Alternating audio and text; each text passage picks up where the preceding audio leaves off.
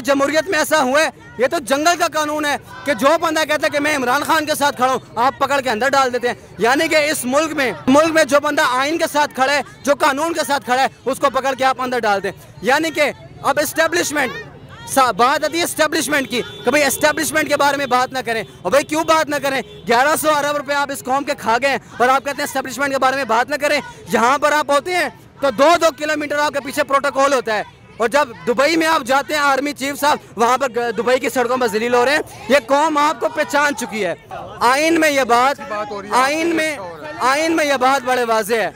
अगर आइन में 200 आर्टिकल 260 के मुताबिक नहीं करेंगे और सबसे पहले तो मैं ये कहता हूँ कि आर्टिकल सड़सठ आर्टिकल छियासठ क्या कहता है? कि आप कोर्ट ऑफ़ कंडक्ट पे बात नहीं कर सकते। आर्टिकल छियासठ बड़ा वाजे है, लेकिन यहाँ पर असम्बली में बैठ के कभी अदालतों को गालियाँ दे रहे हैं, कभी किसको गालियाँ दे रहे हैं, क्या ये इस मुल्क में, क्या चीफ जस्टिस को ये बात नज़र नहीं आ रही? चीफ जस्टिस क्यों इस्तीफा दें?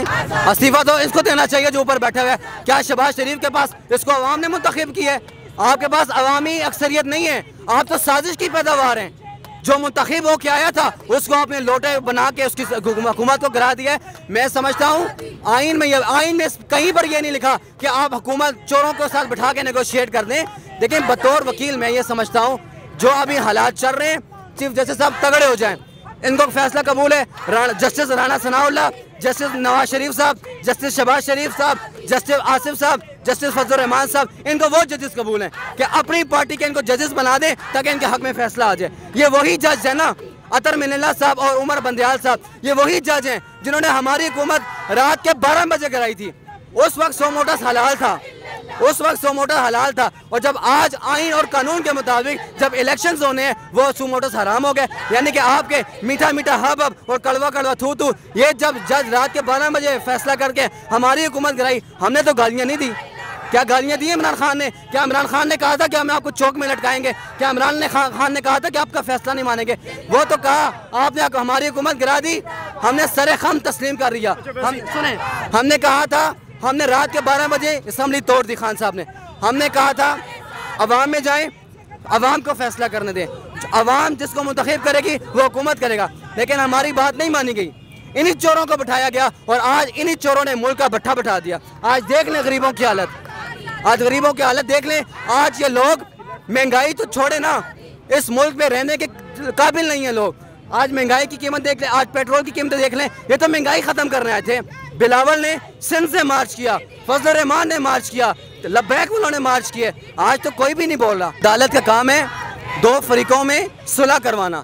अगर आपका सियासी केस है तो पार्लियामेंट में हल करें ना। आप जाते हैं, अदालत में पटिशन दायर करते हैं। पहले आप खुद अदालतों में जाते हैं, फिर कहते हैं कि अदालतें क्यों मुदाखलत करेंगे क्या सबसे पहले जब खान की हुकूमत थी तो आप अदालत में गए ना कि इन्होंने गैर कानूनी तौर पर इलेक्शन अनाउंस कर दिए, फिर अदालत ने हमारा फैसला रिवर्स किया। वो फैसले हलाल थे, ये फैसले आराम हो गए।